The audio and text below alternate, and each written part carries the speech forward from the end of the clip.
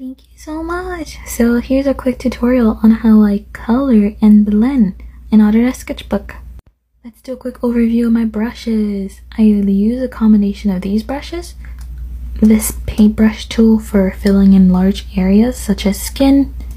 I use the tattoo anchor to do the similar thing but in like smaller details and stuff. And I the wispy brush is my main shading brush. I use it with a combination of this blending brush to blend any hard harsh edges and I love using the different airbrushes which is soft airbrush for blushes and I use the hard airbrush for small details and glows. So let me show you how they work. Let's start filling our main color with the big paintbrush tool. This is the method on how I shade skin, but I normally fill in the color for the hair as well. See the tattoo anchor lets me get these kind of wispy lines for like small details that I just love so much. I'm switching over to the soft airbrush right here for some soft washes in the hair because I want it to be a gradient.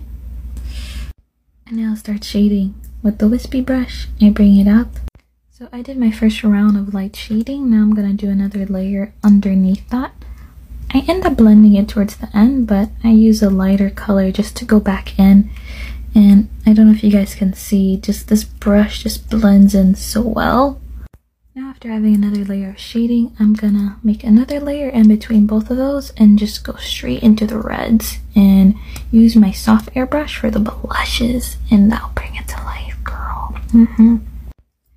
For that, I normally do like the side cheek, a little bit of the nose, but like more like soft and like airbrush like that to bring a little bit more color. And then I go, I just play around a lot and just kind of building this up until I get to the highlights.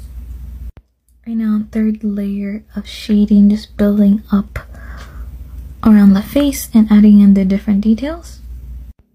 Blend edge of my liner to make it look more painterly adding the glow and then you'll be done.